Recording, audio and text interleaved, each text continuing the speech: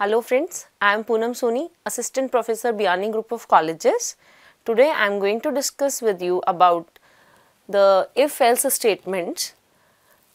In the last class, previous class, we already discussed the if and the if-else form of these statements. These are decision making statements. And now in this class, we are going to discuss nested if-else and if-else ladder. So let's see. In nested if-else, we have if statement within another if statement. The syntax is given like this if then condition then in curly braces we will write the another if and condition and so on whatever is the requirement. Now for the next kind if else ladder we have the syntax like we will write the if then condition then statements and the next if will be continued or uh, will be contained in the else part of this if you can see this is the if condition. These are the statements which will be executed when this if will be true. And if the condition is false we will come to this else. And in this else we will check another condition in the if. So, this kind of statement is what? If else ladder. And nested if else if the condition becomes true we will go inside and check another condition. If the condition becomes true we will go inside and check another condition. So, this type of statement is known as nested if else and this type is known as if else ladder. Now, let us see an example containing the, uh, both these statements. Yes, now let us see an example in which both types of statements are given. We have used both types of statements. This is a program to compare three numbers and print the largest one. We have taken three variables a, b and c and the values are suppose 5, 6 and 7 that we have already taken. Now first we will check if a greater than b. So the value of a is what? It is 5 and the value of b is what? 6. 5 greater than 6. No, it is false. So we will come in the else part. We will check whether b greater than c. So the value of b is 6 greater than 7. Is it true? No, it is also not true. So, we will go in the else part of this if here. So, it will be printed as C is greatest which is true in this case. Now, let us change the values.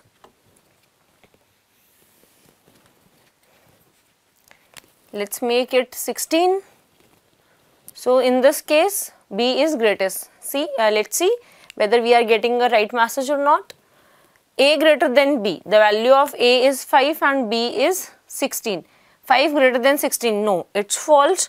We will come in this else part.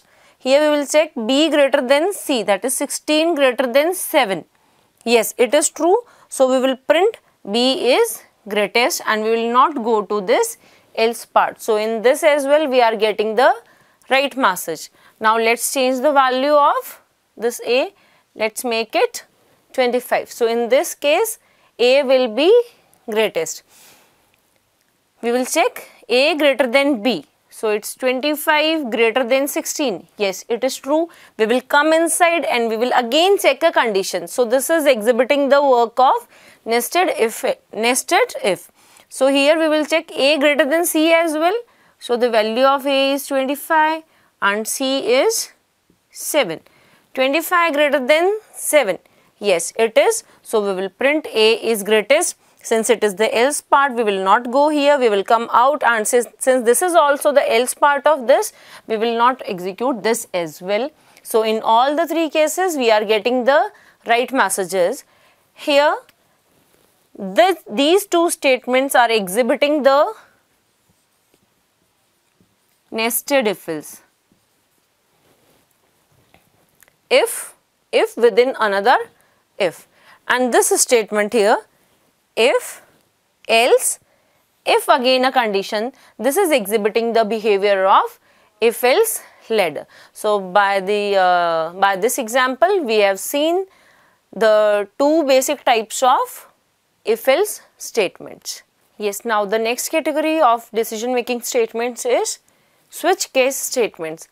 These are almost performing the work work of if else statements uh, what does it mean actually? We can replace the if else statements with switch case as well.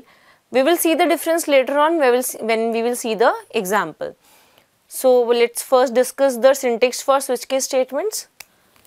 Switch, this is a keyword, case, keyword and this default is also keyword.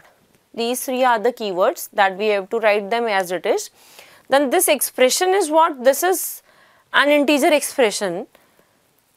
Here we will pass some value in this expression, some value will be passed here and this value will be compared with all these case, case values. This is case value 1, 2 and so on up to the n values, whatever values are required. So this expression will be compared with all these values and whichever will be the ma matching case. Suppose this value matches with value 2. So only the statements within the case 2 will be executed. After executing them, we will come outside the block. If the expression matches with the 1, then these statements will be executed and we will come outside the block. If this expression doesn't match with any of the case, then in that case the default statements will be executed. Suppose we have given the values 1, 2, 3, 4, 5, 6, 7 and we have passed 8 since it is not matching any of the cases then we will execute the default statements. So let's see an example. Now let's see an example for switch case. This is uh, uh, what we have taken is uh, the variable ch and the value is 2. Suppose we have given it the value 2, we have taken a variable ch. Now we uh, this variable we are passing in the switch as an expression.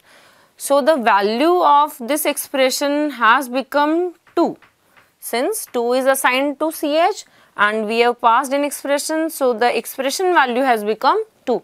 Now this 2 will be compared with all the values in the cases. So the first value for the case is 1, 2 is equal to 1. No, it is not. We will come to the next case. We will not execute the statements within that case. We will come to the next case. Now this 2 will be compared with this 2. Yes, 2 is equivalent to 2. Then we will execute the statements within that case. So the first statement is what? print second quarter. Suppose we have divided the year into quarters and if the user is entering 1 it will be first quarter, 2 for second quarter and so on. It is just an example. So uh, it will print second quarter and the next statement is break that we have not discussed it yet.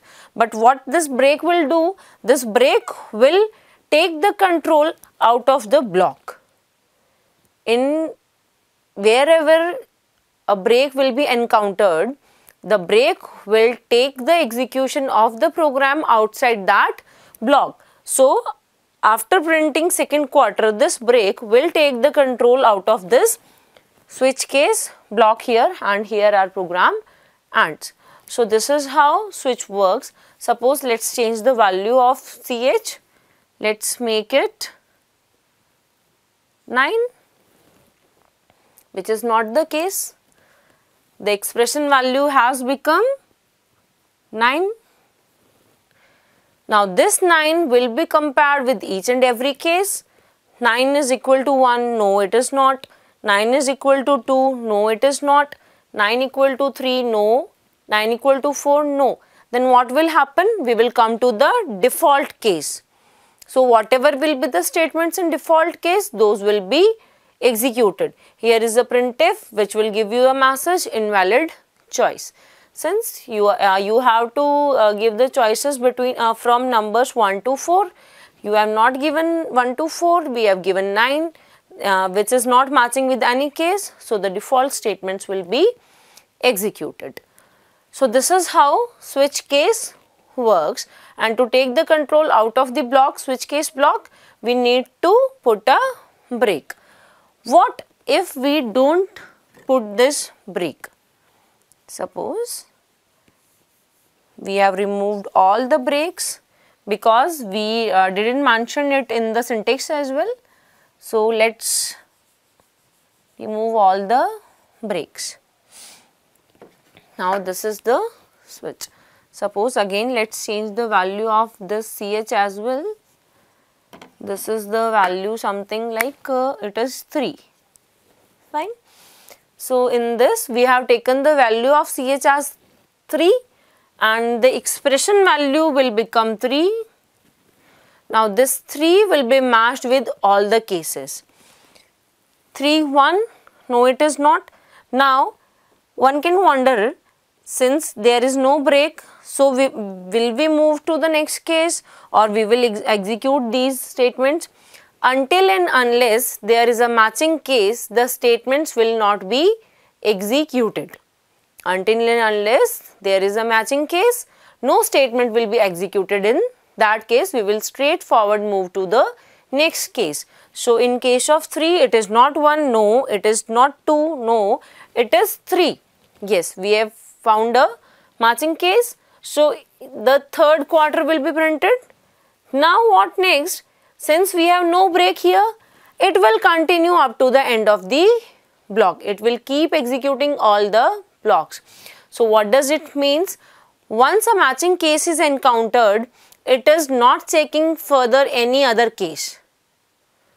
By default, it makes uh, it uh, takes it as this is the case matching case and I have to execute all the statements. So, after getting a matching case, it will not check the case 4. It will straightforward execute the statements within the case 4.